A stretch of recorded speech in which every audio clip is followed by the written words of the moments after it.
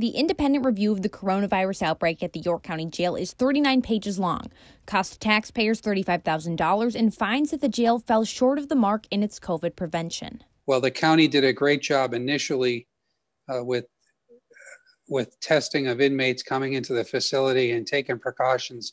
Initially, they failed to follow through on those protocols. According to the report, the jail failed to implement health and safety protocols from sources such as the CDC, the governor's office, the Maine Department of Corrections, and even York County government. There can be recommendations around what should happen and it don't happen, and that a county can make that decision not to do that.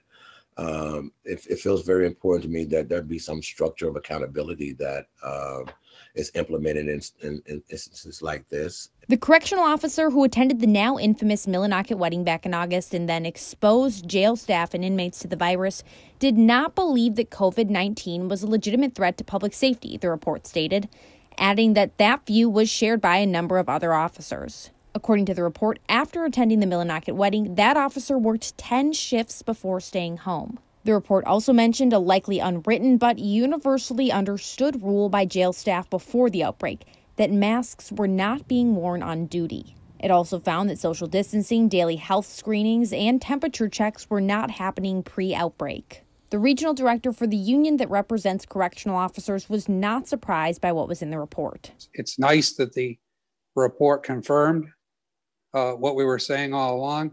However, it's this is a nobody's happy about this situation. It's a, it's a no win situation. For prison advocates, the findings highlight why incarcerated people need to be vaccinated as soon as possible. Alice Keefe, WMTW News 8.